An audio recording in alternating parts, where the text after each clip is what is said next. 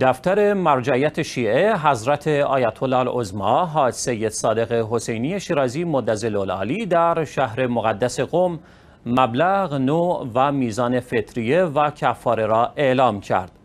میزان فطریه گرچه قوت غالب برنج بوده لکن کافی است سه کیلو نان و یا قیمت آن باشد که برای شهرستان ها حداقل ده هزار تومان و برای تهران حداقل دوازده هزار تومان است. این مبلغ اعلام شده کمترین مبلغ قابل پرداخت جهت زکات فطره یا معادل سه کیلو نان رایج است. اگرچه بهتر پرداخت قیمت دیگر خوراک های معمول و متداول همچون خرما و آرد و برنج و امثال آن است. میزان کفاره افتار غیر عمد برای هر روز 750 گرم تعام مثل نان می باشد که مبلغ آن معادل 2500 تومان برای شهرستان ها و 3000 تومان برای تهران می باشد. میزان کفاره افتار عمد برای هر روز اتام 60 فقیر هر کدام 750 گرم تعام مانند نان معادل 150 هزار تومان برای شهرستان ها و 180 هزار تومان برای تهران است.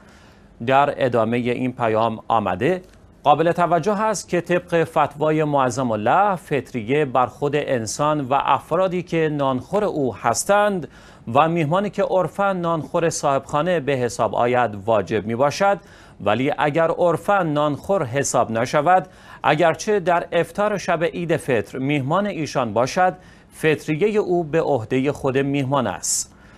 در پایان این پیام آمده ضمنا سایر مقلدین معظم الله در سراسر جهان می توانند طبق گفته های فوق زکات فطره و کفاره خود را به قیمت شهر و منطقه خود محاسبه کرده و جهت اطلاع بیشتر به دفاتر رسمی و وکلای معظم الله در سایر کشورها مراجعه فرمایند و همچنین جهت اطلاع از سایر مسائل زکات فطره و کفاره به رساله عملیه معظم الله مراجعه نمایند.